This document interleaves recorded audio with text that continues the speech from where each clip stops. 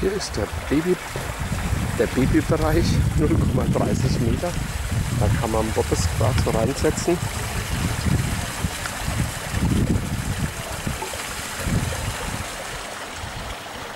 Die Muttis können hier dabei liegen.